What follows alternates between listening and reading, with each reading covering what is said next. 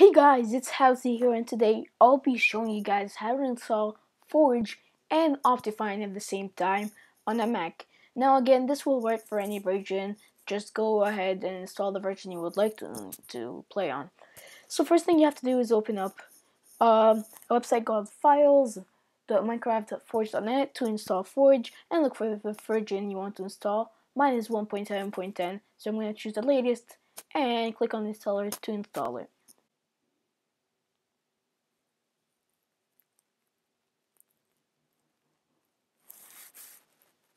And then click on skip ad. It should start installing.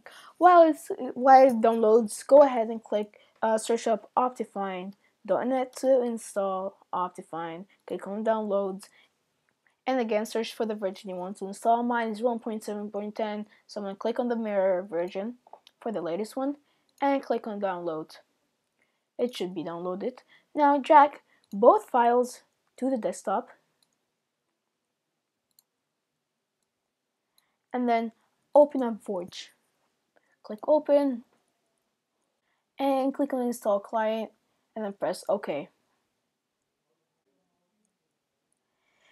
Successfully installed, so that's it. Now go ahead and click on Finder, search for library, or you can just simply type Command Shift G and type in that, press go. After that, go on Application Support, Minecraft, Mods, and just drag the Optifine jar in the mods. And that's pretty much it. Let's try it out. Open up Minecraft.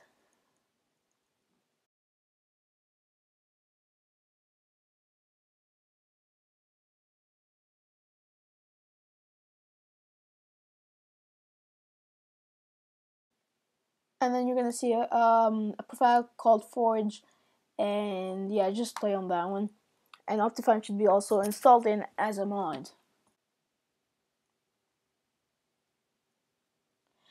As you guys can see, Optifine and Forge is both installed and yeah, that's pretty much it guys. Thanks a lot for watching and see you next time.